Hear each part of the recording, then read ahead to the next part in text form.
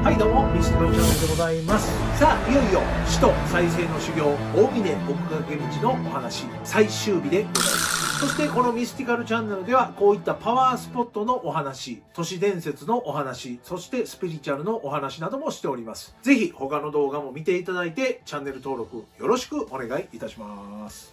えー、初日からですね奈良の弥山というところを登りましてえこの大峰奥垣道に入ってそして行者帰り岳、え七王岳国見ヶ岳大普賢岳そして阿弥陀ヶ森と行きまして三条ヶ岳にやってきました。この三条ヶ岳の泥辻茶屋というところで泊まったわけなんですけれどもまあ泊まったというか本当に雨風をしのいだだけの状態だったんですね。で衣服も濡れてるバッテリーもない。でそういう状態で寝てたんですけどもとにかくですねその休憩所が飛んでいくんちゃうぐらいゴーゴー雨風の音がうるさかったもうすごい大嵐ということでこうどんどんどんどん心細くなっていくわけなんですね。そんな中でもやっぱり体はめちゃくちゃ疲れてます。寝れるわけなんですよ。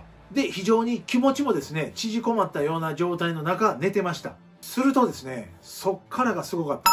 夜中3時半頃にですね、急に尺状の音がしだしたんです。シャキーンシャキーンシャキーンとこう音がしだしたんですよ。で、僕もうとうとしながらなんか音するぞとやったわけなんですね。で、この尺状の音が大きくなってですね、そして僕が寝ていたチェアにはですね、小さいお堂があったんですよ。で、そこでですね、お経の声が聞こえたんです。お、誰かおるぞと。間違いなく動物や浮遊霊じゃないと。元気なお経の声が聞こえるということで、人がいるぞと。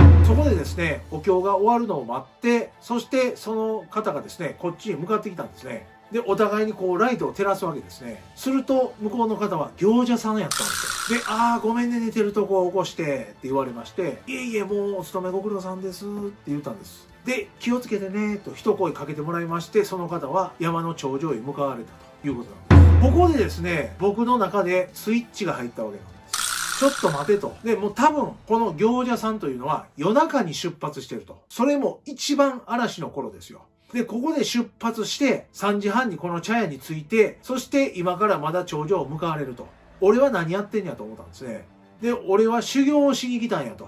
あかん、出発しようと思ったんです。で、そこで荷造りをしまして、そして朝の4時にはこの茶屋を出ることにしました。もちろん真っ暗でゴーゴーという嵐の中です。全く怖いもんがなくなったと言ってもいいと思います。もう行くぞということになりまして、真っ暗の中、嵐の中、進み出しました。そしてまた視界が狭い中、道に迷わんようにだけ気をつけながらですね、一歩一歩着実に前に進もうということで、今に集中しながらですね、歩いていったわけです。するとですね、この三条ヶ岳という山は結構距離がありましてね、でその茶屋からずっと奥掛道三条ヶ岳抜けるまでに相当時間がかかったんですよ。でそれもですね険しい険しいもう20メートルぐらいの崖ですね。真っ暗で見えなかったんですけど天気のいい時はこんな感じです。で僕これ写真撮りたかったんですけどもうこの時には全くバッテリーない状態でしたんで何の写真も撮れてないんですけどね。でこの状態の崖をですねチェーン一つで降りていくわけなんですよ。でこれ20メートルぐらいはこの崖続くんでねずっと降りていきながらですねもう滝のように流れる雨水をガブガブ飲みながらこの時は何の躊躇もなかったです。とにかく生きるぞと。もうそれしかなかったですね。でこの山を下りまして、えー、どんどんもう崖みたいな道を歩きつつ進んでいくわけですね。そしてやっとですねしらじらと明るくなりだした頃にこの三条ヶ岳を抜けることができました。そしてそこからああもう吉野近いぞと思ったんですね。それが大間違いです。そっからまだまだめちゃくちゃ距離があるんですね。で山一つ越えてやっとかなと思ったらまた山を越えてまた山を越えてと。そんな中で疲労がもう溜まってきてですね、足が動かへんと、こんな状況になってくるわけなんですよ。それでも進みましてですね、国道みたいなとこにやっと出てきたわけなんです。ああ、もうこれ吉野すぐやろうと思ったんですけど、またもう一個山があってとか。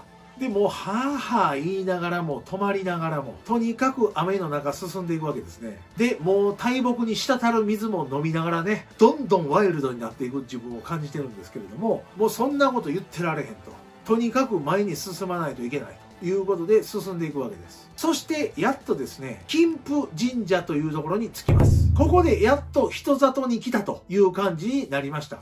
で、金峰神社で参拝してですね、えー、奥掛道を歩かしてもらいました。ありがとうございました。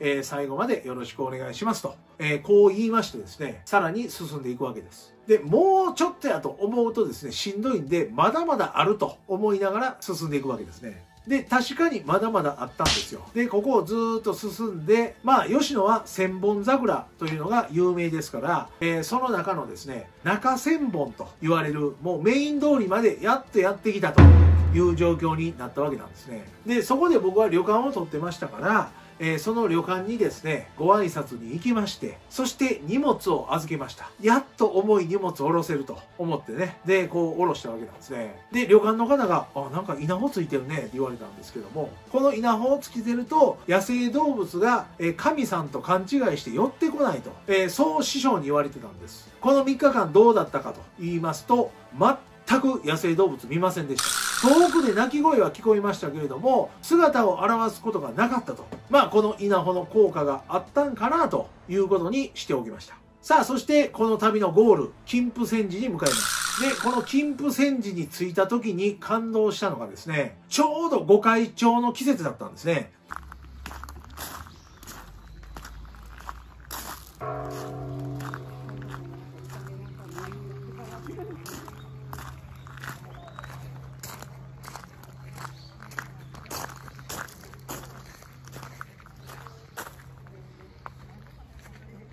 はいここが奥掛堂の、えー、まあ本部みたいなところですね。金峰山寺です。今回のゴールです。そして、えー、本堂に上がりましてですね、蔵王権現さんにご挨拶をして、お勤めをするわけですけれども、そしてしっかり中もお参りしまして、でやっと3日ぶりに美味しい食事を味わえたということでございます。で、この後ですね、旅館に泊まって、もうとにかく体温めたいということで、大浴場でお風呂に浸かるわけなんですよ。じっくり体を温めましてですね、部屋に戻るんですけれども、めちゃくちゃ筋肉痛やんというぐらい、もう歩くんがままならないぐらいの筋肉痛になってたわけですよ。部屋でもう裸に浴衣を着てですね、大の字に寝まして、するとですね、ふっとですね、寒気がしたんですよ。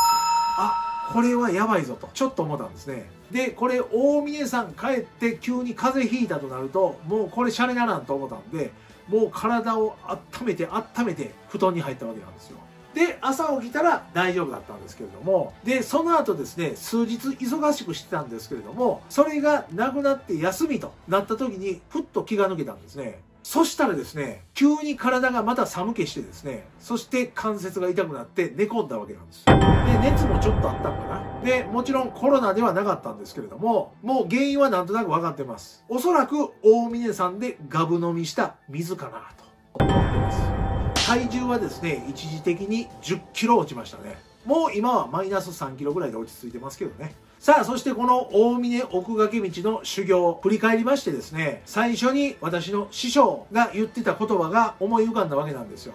諸津さん、この修行をしたら怖いもんがなくなりますよと、こうおっしゃってたんですね。確かに奥掛道の3日目、行者さんに会った時に僕は怖いもんがなくなりました。もう怖さが一周したと言ってもいいですね。まあそういう経験をしました。で、後のことはなんかまあ後々ですね、じわじわ分かってきたらいいかなと思います。で、その後先生に報告がてらお会いしまして、よく行きましたねと、えー、言っていただいたんですけれども、えー、もうちょっとでもロスさん一皮むけるんですけどね、と言われました。まだ向けてへんの？と思いながら。すると師匠がですね、まあこれいけたということは素晴らしいことです。この次は京都から出雲に向かう道があります。これ行きましょうと。え、ちょっとちょっと待ってと。先生、とりあえず一旦お腹いっぱいですと。また、こう、英気を養ってですね、それなりの、こう、やる気になってから行きましょうと。こう言いましたね。ただ、やはりこの山行というものは非常にいい修行になるんだなということが身に染みて分かった旅になりました。いずれこの大峰奥掛道も全工程行きたいと思います。